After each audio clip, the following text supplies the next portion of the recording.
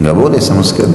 Dan dalam masalah prinsip akidah nggak boleh makanya sebab turunnya surah Al-Kafirun ada seorang tokoh Mekah mendatangi Nabi SAW dan berkata Hai Muhammad bagaimana kalau Mekah kita bagi dua?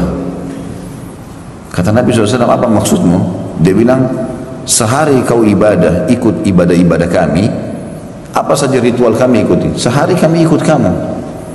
Kata Nabi SAW tidak boleh Gak mungkin. Bagaimana caranya kita pergi ke patung minta-minta sembeli untuk patung gitu kan, makan bangkai, nggak mungkin itu. Hmm.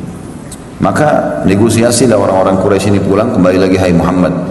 Sehari buat kami, sepekan buat kamu. Jadi sehari saja ikut kami, nanti sepekan buat kamu. Nabi SAW nggak bisa. Kembali lagi sebulan buat kamu, sehari buat kami nggak bisa. Muhammad sekali sehari buat kami seumur umur hidup buat kamu.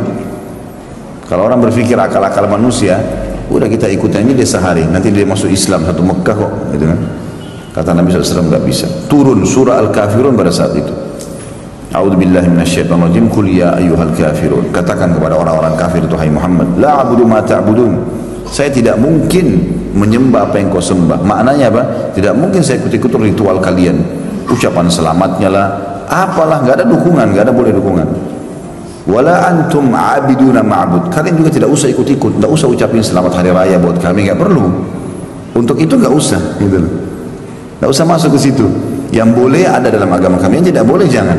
Ada zona-zonanya gitu ya. Ada yang boleh dan tidak boleh. Lalu Allah tutup dengan mengatakan lakum dinukum waliyadin kalian punya agama kami punya agama. Kalau sudah masalah ibadah nggak boleh lagi.